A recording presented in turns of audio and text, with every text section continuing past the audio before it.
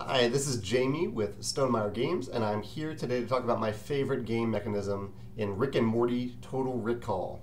Before I do that, though, I want to thank a fellow Kickstarter creator, uh, John with Screech Dragon Studios, who has a project running right now, and he had some extra samples of his product, um, and he very kindly sent them to me. And I thought they were pretty cool, so I thought I'd share them here.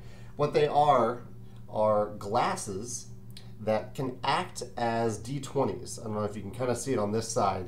So on the glass, there's numbers 1 through 20. And so instead of rolling a D20, you'll take a, a chug of your alcoholic or non-alcoholic drink, and uh, whatever the wherever the uh, the line when you put the glass back down, whatever the line is on the on the glass of where the the beverage is, the liquid is, that's your roll.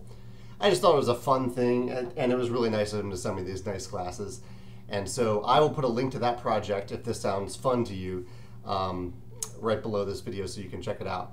Now I did, I tried to keep this video on theme uh, and find a game that I play or own that uses a D20.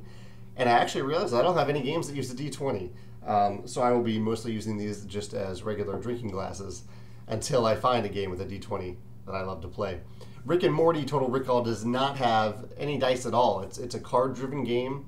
Um, and it's one of these large group social bluffing kind of deduction games um, with a weird theme. It's based on a specific episode of the television show Rick and Morty, and where most of the characters in the game um, and in the in this episode have been taken over by alien creatures, but they look the same as as like you can't tell by looking at them if they're alien or um, or just a normal person. And so a big part of the game is trying to figure out and eliminate the aliens while not eliminating the actual humans, the normal people, the characters. And everybody is a character in the game. Every player represents a character. And some, it's a team game, so it's a hidden team game. So some players are actual uh, aliens or parasites, whatever it's called, and others are humans. And uh, the, the parasites are secretly trying to to eliminate the humans, and the and the uh, humans are trying to eliminate the parasites. And it's uh, it's a good game. We had a lot of fun with it. And one of the most fun moments that happened during the game, or a number of fun moments, because this happens a number of times, is that there are certain times where your allegiance will change. It doesn't make that much sense thematically that you could have a parasite and then switch back to not having a parasite and then back and forth. That doesn't matter though, because it's really, really fun in the game when you have to switch. And the switching happens kind of randomly. Like you shuffle up some cards and you give one to one player, one to you, and, and then one, I think, to the middle of the table. And uh, it, so, like, you know who you were and how you were acting and the things you were doing based on your previous character, and then all of a sudden you have to act differently, even if you have the same thing, because people are going to be more suspicious of you uh, after after this random switch.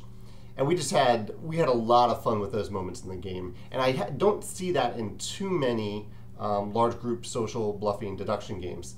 One game that does have that that I really enjoy is Good Cop Bad Cop, uh, which is tied to a game called Leaders of Euphoria that will soon be on Kickstarter. So I'll be talking about that soon. Um, but uh, but I really like in Rick and, Morty as well how you can switch teams through, during the game. Um, usually not by choice. Usually it happens just randomly. But I think there are certain times where you could actually choose to mix things up. Not necessarily choose your team, but choose to have the potential to, to be on a new team. And that makes it just makes for a really unique experience. Within the same microcosm of one game, you can be on multiple teams and allied with, with multiple players, which I really enjoyed.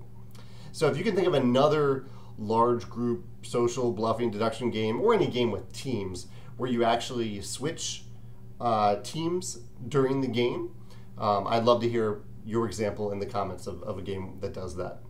Thanks.